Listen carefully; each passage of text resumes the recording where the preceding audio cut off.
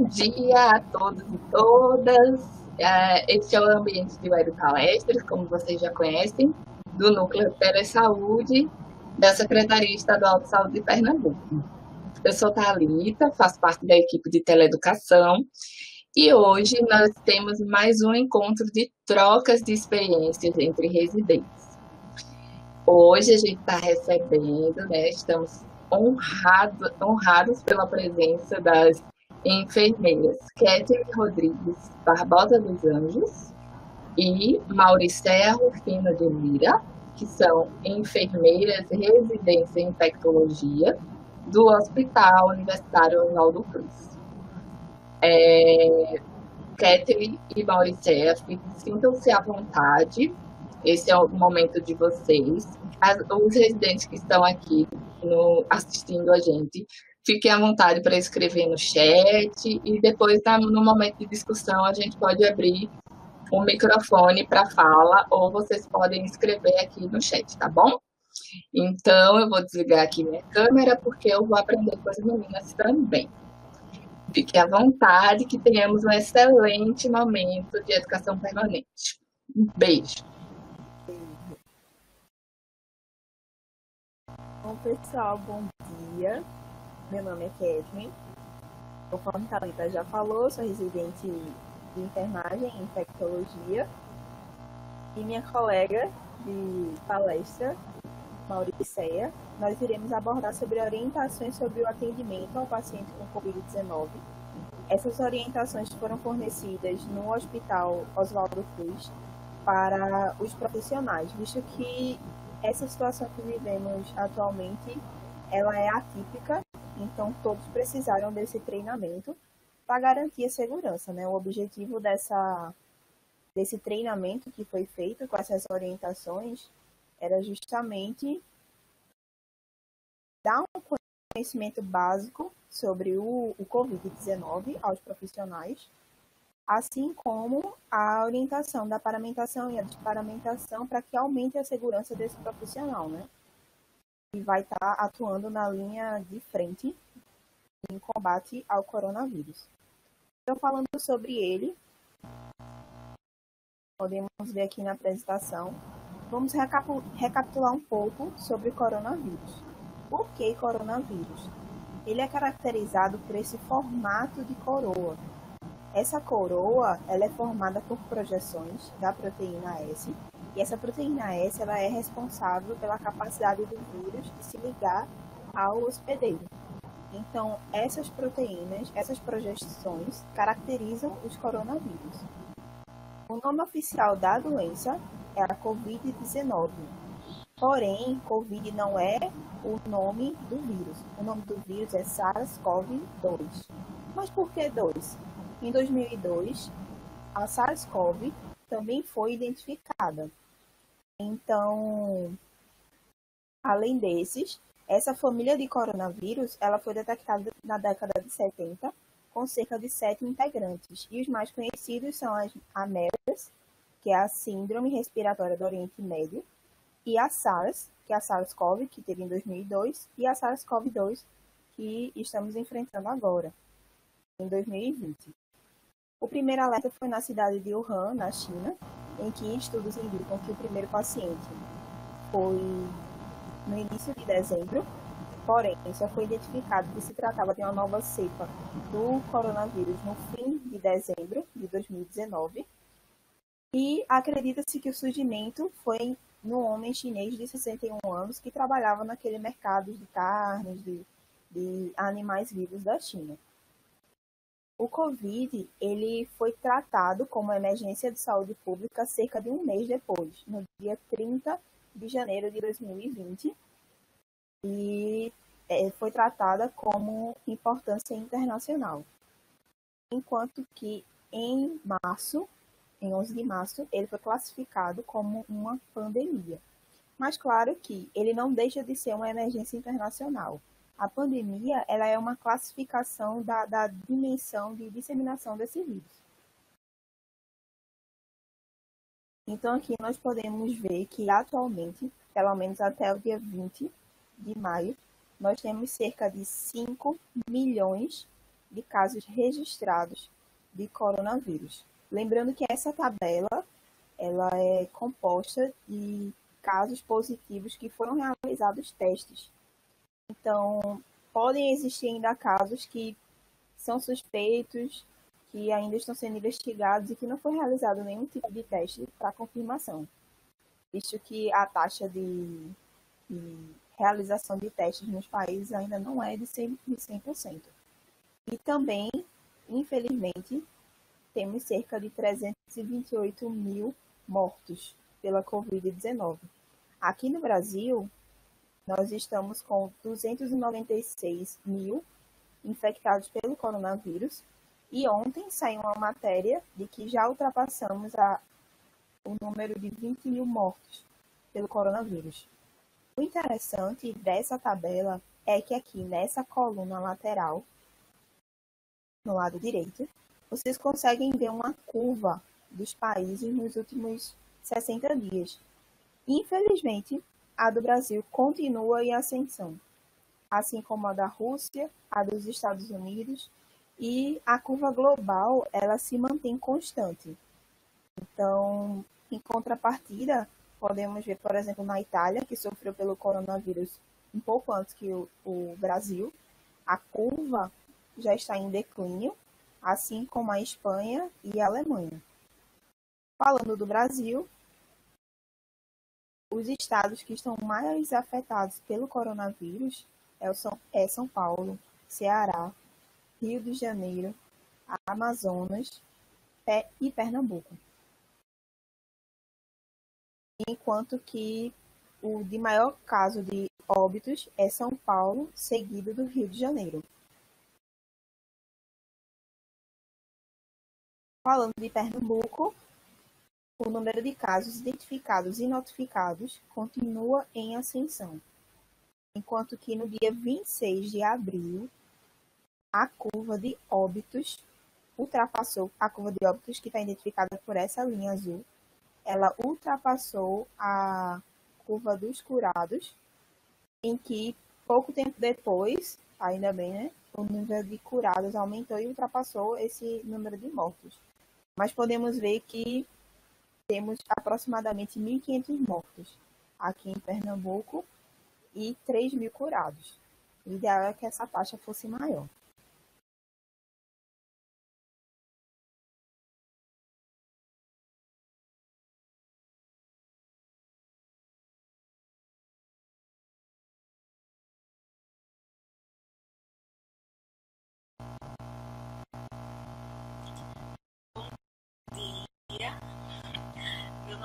Mauricéia, como a falou, sou residente de enfermagem em infectologia do segundo ano.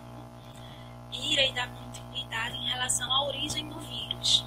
Então, é, ainda não se conhece o reservatório animal do novo coronavírus, é tudo muito novo para a gente. E estamos é, em andamento em relação a esse estudo, a origem do do vírus do Covid-19. Maurícia, desculpa, só um instantinho. Veja se, se, como, se você conseguiu, acho que, afastar um pouquinho o seu microfone, talvez diminua um pouquinho da interferência. Vamos testar? Veja agora, fala agora para ver. Meu nome é Mauricéa. Ah, pronto, aqui melhorou. Certo. Tá melhor? Certo. Sou enfermeira do segundo ano infectologia no Hospital Universitário Oswaldo Cruz. E, como Kathleen falou, é, sobre a família do vírus, né, do coronavírus, temos esse novo vírus que ainda não se sabe, não se conhece, o reservatório animal é, do novo Covid-19, que ainda está em estudo, está em andamento, para se conhecer é, a origem,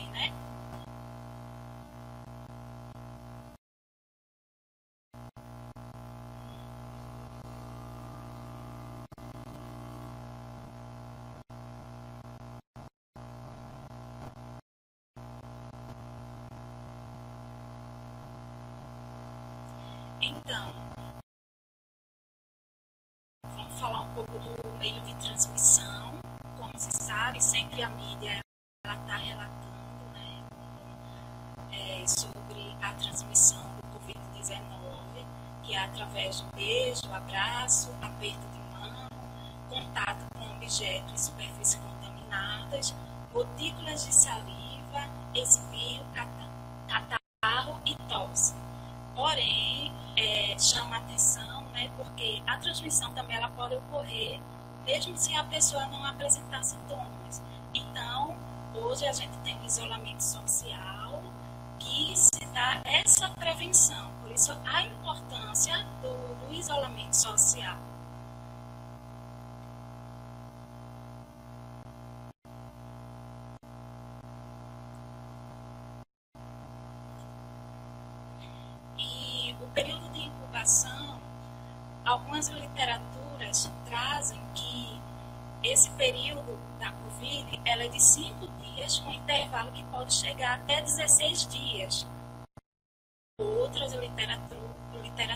Literaturas trazem é, dois dias a 14 dias.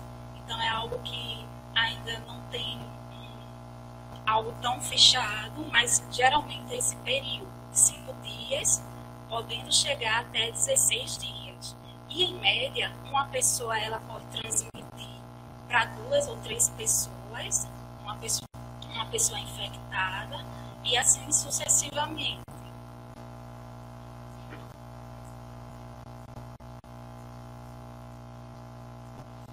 Os sinais e sintomas que esses pacientes apresentam, é, os mais comuns, a gente tem a tosse, a febre, a fadiga, e, em geral, é a congestão nasal, a diarreia, a dor de cabeça, a dor de garganta, coriza, cansaço e a dificuldade de respirar, que é onde se enquadra mais assim o quadro grave da Covid-19.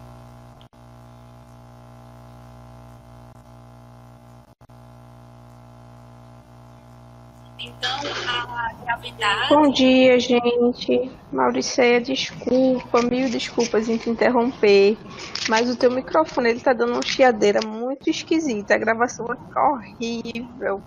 Tu teria algum celular para entrar? Eu acho que tu tá com um, telefone, um microfone de um plug e um computador que são de dois plugs.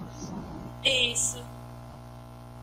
É isso, né? Que aí ele tá dando retorno. É, Thalita pediu para eu verificar o som. Aí eu chequei aqui, eu acho que é isso que tá dando algum tipo de interferência. Teria como tu ficar no computador e conectar com o celular pra gente ouvir o áudio do teu celular? A gente fecharia esse microfone teu e aí tu falaria pelo, pelo celular. Será que tem como? Mil, mil desculpas interromper.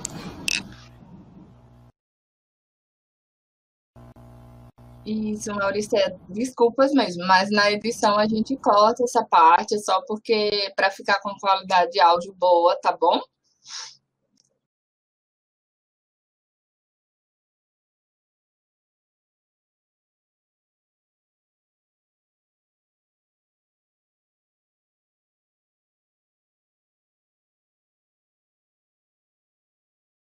Quando você conseguir, a gente testa de novo o teu áudio, não se preocupa. Depois a gente corta essa parte, tá certo? Na edição do vídeo, é só para ficar realmente com a qualidade boa de áudio. Que o material de vocês está belíssimo e vai com certeza ser muito importante para todo mundo que for assistir depois do nosso canal. Quando puder testar o áudio, tu fala. Isso tá Pronto, tá... deixa esse do computador fechado, você pode passar normal os slides pelo computador. Não, acho que é a Kathleen que está passando, né? Ela que está como apresentadora. Pronto, aí tu usa só o áudio do teu. Mas você pode continuar acompanhando pelo computador normal, só o teu áudio que vai vir do celular.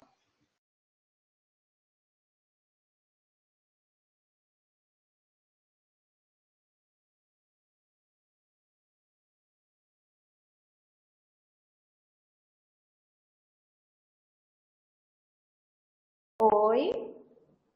Tá escutando melhor? Tá bem. Nossa, chega de um alívio no ouvido, Maurício. Ai, meu muito, Deus. Muito obrigada. Desculpe mesmo cortar seu raciocínio. Muito obrigada, Su. Pode continuar, Mauricéia. Tá belíssimo. Pronto. Então, assim, é, a gravidade né, da, do Covid-19 geralmente é de 80%, é são casos leves, no qual são orientados o paciente a ficar em isolamento domiciliar por 14 dias, e o casos muito graves é de 5 a 10%, né, que desenvolve a insuficiência respiratória. Então, temos a letalidade, como nós sabemos através de estudo, que geralmente os pacientes acima de 60 anos, eles têm uma letalidade provocada pela COVID maior, né? Porque geralmente esses pacientes têm associado com eles uma comorbidade e acima de 60 anos, geralmente é quando esse paciente ele está dentro da, do grupo de do, do grupo de risco. E, e temos o, é, os idosos, né, que entram no grupo de risco, no qual geralmente está associado, é, tá associado uma comorbidade. Temos os imunossuprimidos, que são aqueles pacientes que fazem tratamento né, com imunossupressão. Temos as gestantes e lactantes, e condições pré-existentes, como a diabetes, doenças cardíacas e outras comorbidades associadas.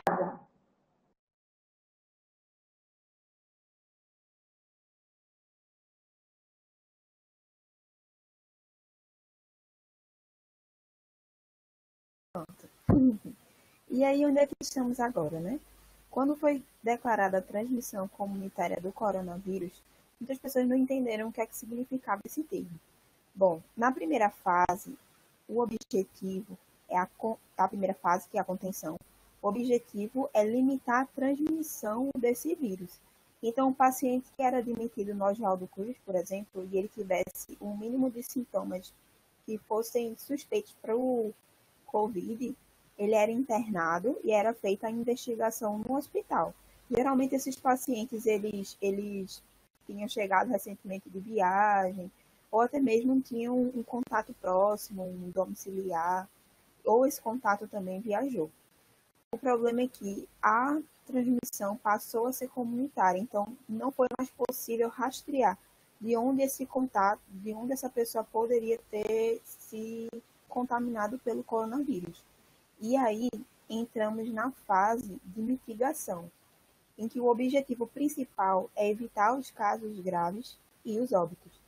Aí é que está a importância do isolamento social, visto que, inicialmente, casos leves também eram internados para evitar a propagação desse vírus, e agora os casos leves são orientados a ficar em casa, permanecerem em isolamento domiciliar, e os casos graves vão precisar da, do, da, dos leitos de UTI e das enfermarias do SUS. Caso não houvesse o isolamento, infelizmente, o número de casos graves iria aumentar e a demanda do Sistema Único de Saúde não iria ser suficiente para esse quantitativo de casos. Então, nesse meio, como é que nós, como profissionais de saúde, podemos contribuir juntos nesse enfrentamento. Então, primeiro, nós temos que praticar as nossas atividades dentro do hospital de forma correta, porque assim não somos infectados e nem afastados. Infelizmente, aqui, no, aqui em Pernambuco, muitos profissionais estão afastados pelo, pela suspeita do coronavírus. E temos que lembrar que esse, esse, esse ponto aqui se aplica a todos, né? Cada um de nós é responsável pelas ações para se manter saudável, evitar sair desnecessariamente, entre outras coisas, para impedir a transmissão da doença. Então, como profissional, nós podemos adotar diversas medidas de precaução. Primeiro, tem a precaução padrão, que aqui fazemos para todos os pacientes, independente de suspeita ou não de infecções a lavagem correta das mãos, lembrando todos aqueles passos certinho, porque a lavagem incorreta também, também dá uma falsa segurança ao profissional. O uso de avental, o uso de luvas, óculos, máscaras e principalmente o descarte correto dos cortantes. Muitos profissionais acreditam que o cortante é apenas a agulha, mas tem agulha, tem lanceta, tem aquele capilar de vidro que às vezes são utilizados para a realização de testes rápidos, entre outras coisas. A precaução para a gotícula, ela não é tão igual ao da precaução padrão. Claro que o profissional precisa fazer a lavagem correta das mãos e uso de máscara. Mas caso o paciente precise do transporte, ele vai precisar usar a máscara cirúrgica também. E o ideal é que esse paciente tenha um quarto privativo. Mas se a instituição não tiver, ele pode ser ele pode ser admitido no mesmo quarto que outro paciente. Ele pode compartilhar essa enfermaria, desde que ele tenha a distância de um metro de um leito de um paciente ao outro e que esse paciente é seu companheiro de quarto, por, por assim dizer, ele também esteja infectado pelo mesmo microorganismo. E nesse caso, o principal detalhe é a porta ela pode ficar entreaberta. Enquanto que na precaução de aerossóis, o paciente também vai usar a máscara cirúrgica para o transporte, porém, o profissional, por ter esse contato maior, esse contato direto com o paciente, ele vai precisar da máscara N95, que ela é específica para proteções por aerosóis. E, se, e o ideal é que o paciente também fique em isolamento respiratório, ele fique sozinho no quarto. Caso não tenha enfermaria disponíveis, ele pode dividir o quarto com outro paciente, desde que ele também seja infectado pelo desde que esse outro paciente também esteja infectado pelo mesmo microorganismo. Lembrando que, por exemplo, nos casos de tuberculose, um paciente que seja multidroga resistente não vai poder ficar no mesmo quarto que um paciente que não é multidroga resistente, né? Tem esse critério. E também, para precaução de aerossol, a porta do quarto, ela precisa estar sempre fechada. Então, gente, iremos falar um pouco sobre a paramentação como é, Kathleen falou, né, da importância da, a, do, do, uso padrão da máscara cirúrgica e dos demais. É, a equipe foi treinada, né, a, os residentes, junto com a CCIH, treinou esses novos servidores que estavam chegando no Hospital Universitário Oswaldo Cruz para fazer uh, o POP, a, a, é, o procedimento operacional padrão do hospital, é o protocolo de paramentação, no qual a gente foi incluída para é, gravar alguns vídeos. Aí a gente tem a touca, que, é, que faz parte da, do padrão do Oswaldo Cruz.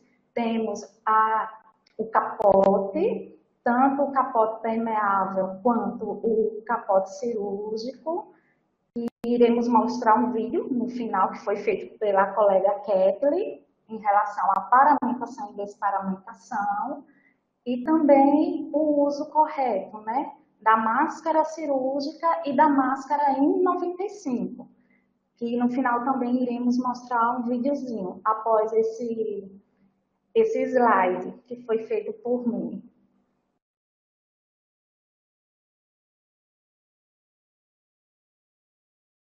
E quando usar essa, essa máscara, o, a, a N95 ela só é usada quando o profissional ele vai realizar algum procedimento invasivo, né, como a intubação, a coleta de material, procedimentos que gerem aerosol. E a máscara simples, ela é usada por meio de transporte, como o Kathleen colocou muito bem, é, recepção no hospital e procedimentos que não gerem aerosol.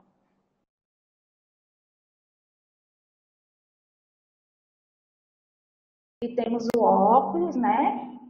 Que é essencial no padrão da vestimenta. E agora iremos passar um videozinho para vocês. Pronto, gente. Eu vou compartilhar aqui minha tela, tá? Para passar o vídeo. O primeiro é o da máscara cirúrgica, né? Isso, Kathleen e Mauricéia. Isso. Pronto. É, eu não vou conseguir vê-los nem ler o chat enquanto estiver passando o vídeo. Então, se alguém precisar falar, abre o microfone e me diz, tá bom? Mas vou pedir só assim, quando eu compartilhar a tela, que vocês me falem se, se realmente está compartilhado, tá bom? Tá, estão enxergando a, o vídeo? Eu vou soltar agora, tá? Certo.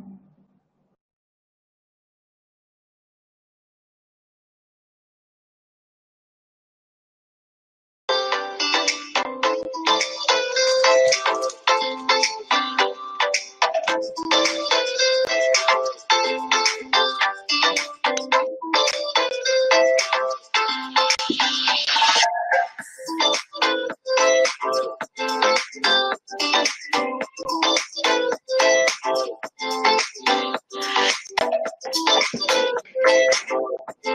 you.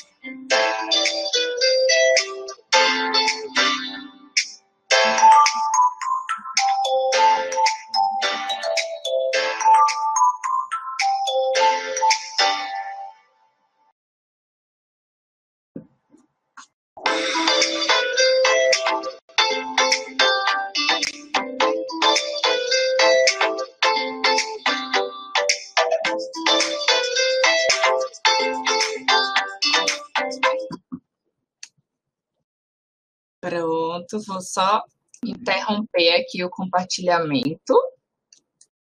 Certo.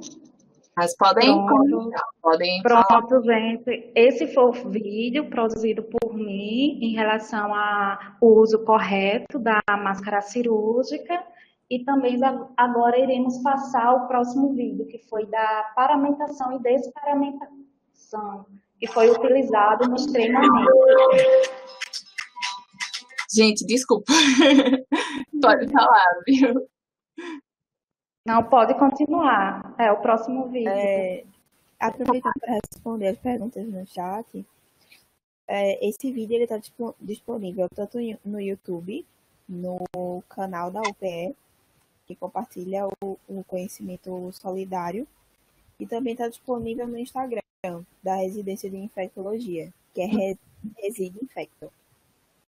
É, depois, é, o Kathleen, se puder escrever aqui no chat, tá bom? Porque eu quero seguir também, comentar aqui lá nos canais da gente do Núcleo, ok?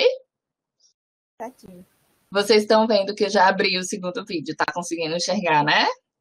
É. Pronto, posso ligar? Sim. Pronto.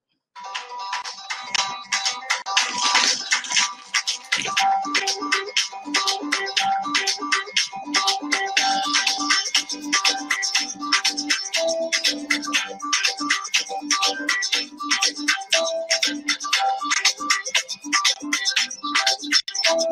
you.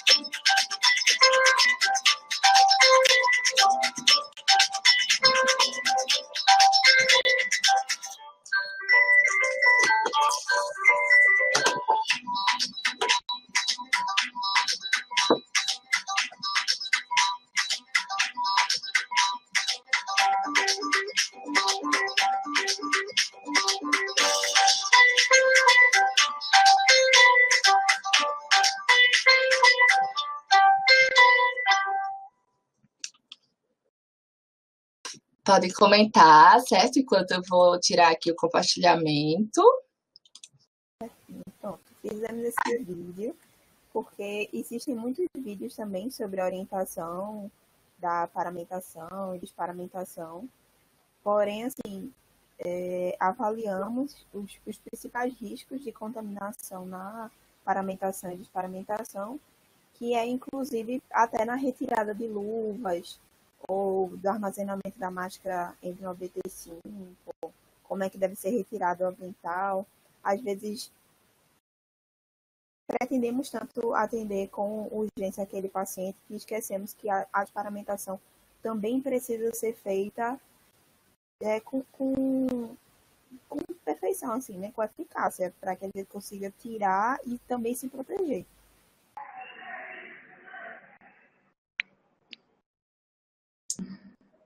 Ótimo. Gente, que coisa mais linda! Parabéns, parabéns, Kathleen, Mauricéia e toda a equipe que participou desse vídeo, né? Que vocês colocaram lá no final o, os nomes do, do, das, dos parceiros, mas vocês são enfermeiras residentes, mas estão muito bem no vídeo, viu? Vamos embora fazer vídeo com a gente.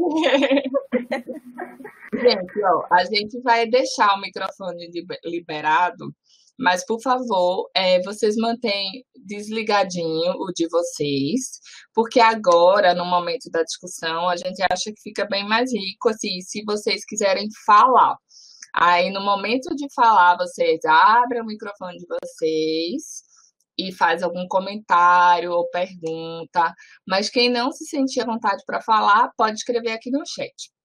Mas quem for falar, por favor, escreve aqui no chat para mim, para poder a gente organizar é, as inscrições da fala, tá bom? Mas deixa eu só compartilhar com as meninas aqui que todo mundo que está ao vivo com a gente, né? Os residentes, a professora Mariana, é, é, escreveu parabéns para vocês. É, vamos todo mundo seguir esse, esse canal no YouTube, gente.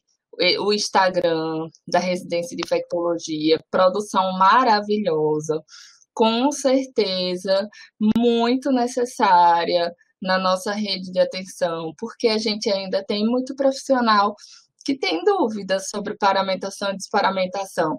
Por quê? Não era comum a gente usar isso em todos os ambi nos ambientes assim que não é ambiente cirúrgico, né, no ambulatório. Isso não era comum. A gente não tinha esse costume. É, e também, como vocês referiram, tem profissionais recém-chegados nos serviços, né? Então, que coisa maravilhosa, assim. É, isso, só, isso também mostra para gente a importância do residente no serviço de saúde contribuindo em muitos aspectos da assistência, da educação permanente, da produção científica. Então, de fato, ser residente é, é um diferencial, né? O profissional de saúde que se propõe a fazer residência, ele realmente se propõe a se qualificar em uma área específica, a ampliar o seu, o, o seu o, o, conhecimento, né? Então, eu registro aqui meus parabéns a todos os residentes que estão aqui ao vivo com a gente. Eu também fui residente, amei ser residente. Fui residente de saúde da família no Morro da Conceição. Tenho muita saudade do morro. Aprendi muito nesse momento de residência. Olha quem está chegando aqui, gente. Professora Magali. Que coisa linda! Então, assim, é, é, eu vou ver aqui quem é que quer falar, que quer abrir o microfone. Mas só para dizer a vocês que todo mundo está aqui, ó, com muitos parabéns, muitos parabéns. Eu achei também belíssimo. Neila, que é residente de Jabotão, ela escreveu: parabéns, gente, muito didático e completo. É, Mariana, professora Mariana quer falar? Pode abrir, deixa eu ver se seu microfone está liberado. Pode falar, professora Mariana, um prazer enorme. E quem quiser falar, vai avisando aqui para a gente permitir a fala, tá bom? Se quiser abrir a câmera também, eu acho que a gente está com um grupo pequenininho, então vai dar certo, viu? Vamos lá.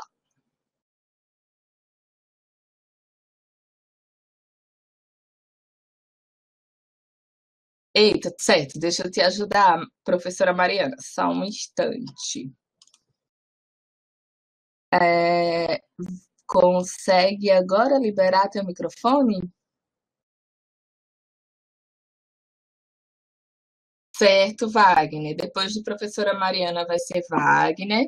Enquanto eu vou pedindo aqui ajuda a Suelen para ver se a gente abre. É... Ah, já está aberto. Suelen já liberou.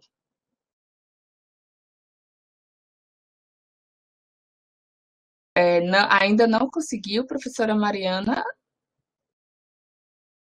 porque o microfone de vocês, gente, tá liberado. Só que para poder falar, vocês vão ter que liberar na, na telinha embaixo. Professora Oi, Mari. Pessoal. Oi, Su, pode ajudar. poder falar, você tem que ativar o microfone. Você tá só como ouvinte. Quem tá só como ouvinte não consegue falar. Aí tem que clicar no desativar áudio, ativar novamente e permitir o microfone. Doutora Magali também não vai conseguir, tá só como ouvinte, eu consigo ver pelo símbolo. Então tem um de- desenhozinho de um, de um microfone ou de um fone de ouvidozinho fechado, que é o desativar áudio. Você desativa o áudio, ativa novamente e clica permitindo o microfone.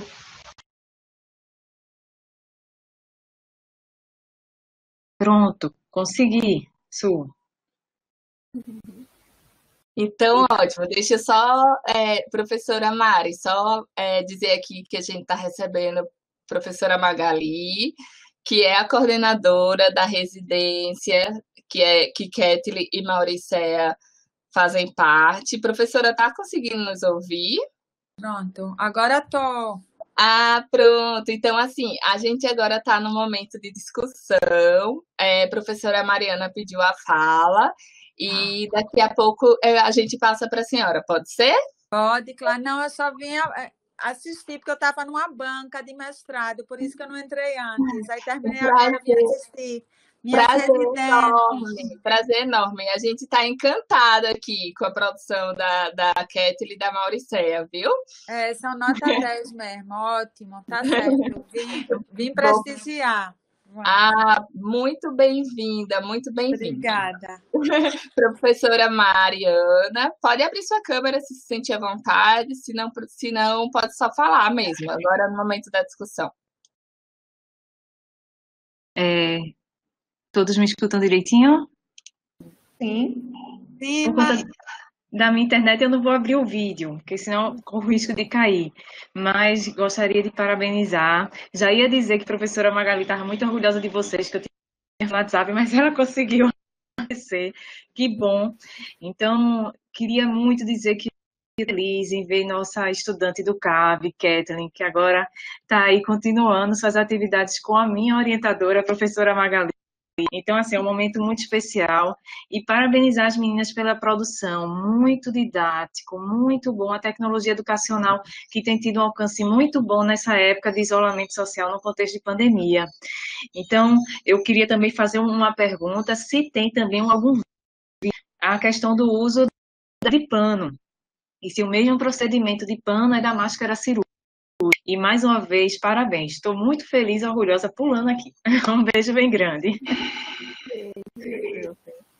Temos sim um vídeo, tanto da máscara cirúrgica, como a gente já assistiu, e também da máscara artesanal. Esse vídeo da máscara artesanal foram as enfermeiras da CCIH que fizeram. E ele também está disponível no canal do YouTube da UPE. E se quiserem, também pode compartilhar pelo WhatsApp. Certo, obrigada, Kathleen. Maurícia, agora que eu percebi, você falou que seu celular está descarregando, é isso? Mas você consegue acompanhar no computador? Ou coloca. Deixa eu ver aqui, tem o microfone. Mauricéia. Certo. Se não conseguir, eu vou te ajudar. Eu vou passar agora a palavra para Wagner, que pediu a fala, e vou pedindo ajuda a Suelen para a gente liberar seu microfone, tá bom? Wagner, fique à vontade. Pode abrir teu microfone. Você pediu, né? Eu acho que é o próximo da, da discussão. E quem quiser falar, vai avisando aqui no chat, por favor.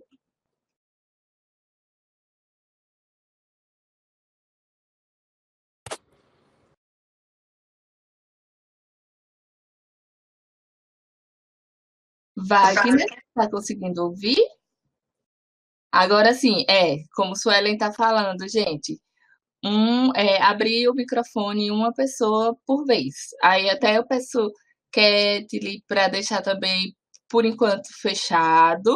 Quando for o momento da que a pessoa terminar de falar, e a gente vai abrindo, tá bom? Será que Wagner está por aqui, gente? Ele tinha pedido a fala. Não Ele sei. saiu. Ah, ele Thalita. saiu, né? Ah, então tá. Então, vamos para a próxima, assim. Tem mais alguém que quer falar? Ou quer enviar um comentário aqui? Eu vou, então, por enquanto, passar para a professora Magali, dizer a ela um pouquinho como, como está sendo esse momento. Professora Magali, eu vou até abrir aqui, né, minha, minha câmera para a gente poder se aproximar mais um pouco. Tá ótimo. Estou muito feliz. Eu só sou alegria hoje, viu? Estou muito feliz com esse momento. Muito Ah. bom, tudo bom. Famosa Thalita, tão bom. A gente se falou tanto, né? Só por Isso. WhatsApp. Que maravilha, essa oportunidade é ímpar, viu? A gente está muito feliz de poder contribuir, participar. Estamos sempre à disposição, que eu acho que na pandemia é isso, né? A gente valorizar esse, a tecnologia que antes a gente nem valorizava, porque todo mundo se locomovia, agora a gente está vendo que a gente pode se aproximar sem estar fisicamente juntos, né? Então, agradeço a oportunidade antes de qualquer coisa. Nós que agradecemos, professora. Assim, primeiro, é um prazer enorme recebê-la aqui. Eu também fui sua aluna na graduação, né? É, aprendi muito, muito com, com os seus ensinamentos, assim, é uma referência para mim, com certeza. É, hoje eu estou caminhando mais na, na educação permanente, com uso de tecnologias, estou no doutorado de educação é, e enfocando mais nos tecnologias, né? Mas assim, foi com certeza foi muito importante o, o seu diálogo inicial com a gente para poder aproximar a Kathleen e Mauricéia do, da nossa equipe. É, em nome da, da nossa diretora, né, do, do Cineide, ela no momento tá bem intenso em muitas reuniões, o núcleo tá com muitas frentes, assim, a gente tem uma equipe muito pequena, mas a gente tá fazendo um trabalho coletivo para dar conta, para poder realmente assim deixar a nossa contribuição diante de um cenário tão difícil, né, que a gente está vivenciando.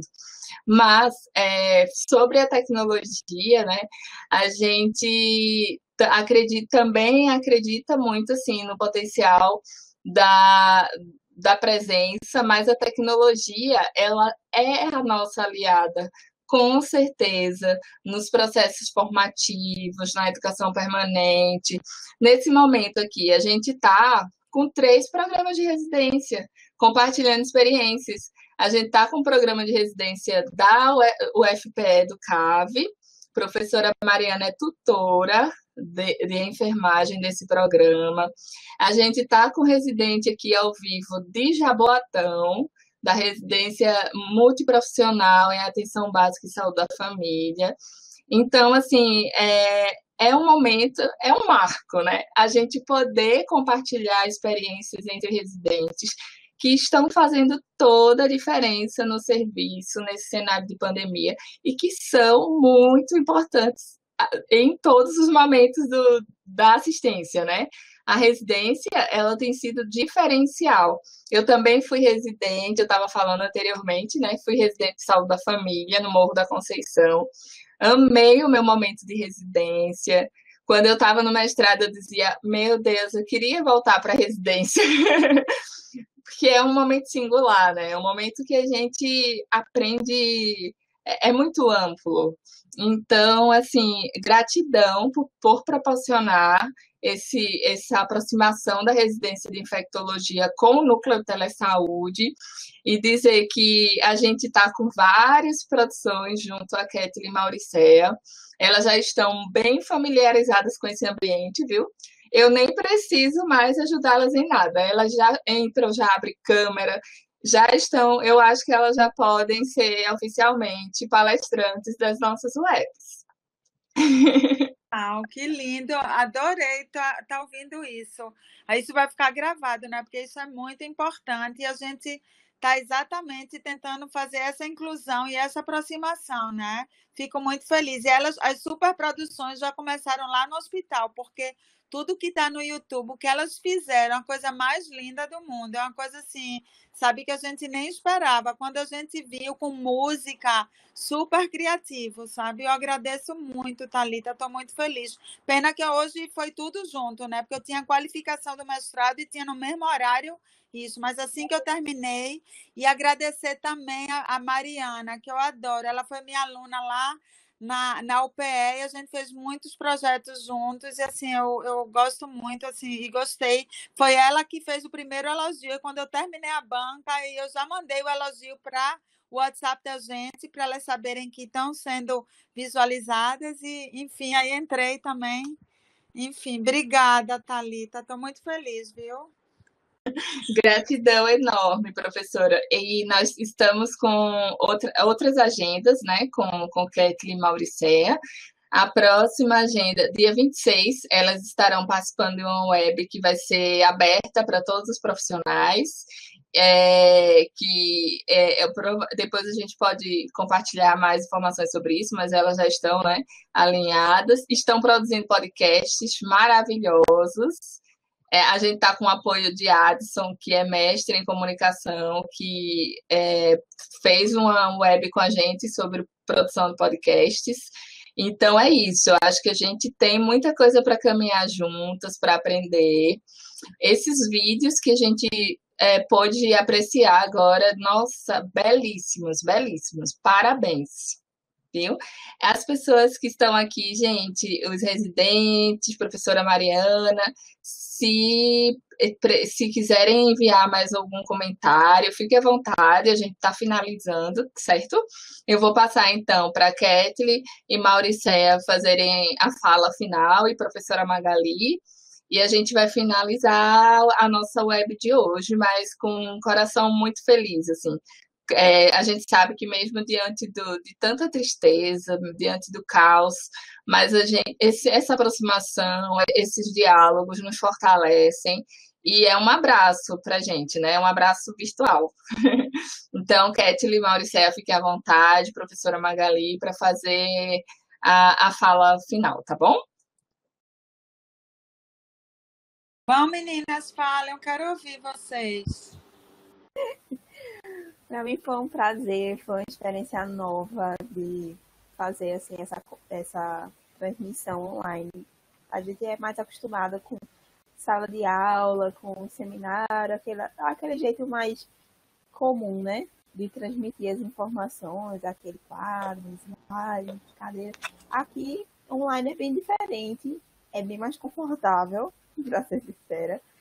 E, assim, permite a união de pessoas de vários locais, né? A professora Mari mesmo, faz muito tempo que eu não vejo. Muito tempo assim, desde a minha colação de grau. Foi a minha professora homenageada e que também me interligou nessas tecnologias, né? Porque eu fiz técnico de informática e achava que nunca conseguiria conciliar a enfermagem com a informática e ela me mostrou que podia, junto com o professor Luiz. E aí é isso. Eu, eu tenho esses professores como modelo e vou seguindo. Eu quero agradecer, né, por essa oportunidade. E para mim, assim, está é, tá sendo tudo muito novo. Estou aprendendo muito. Quero agradecer o acolhimento de Talita, né, que sempre nos direcionando bem corretamente e é isso. Um abraço para todos.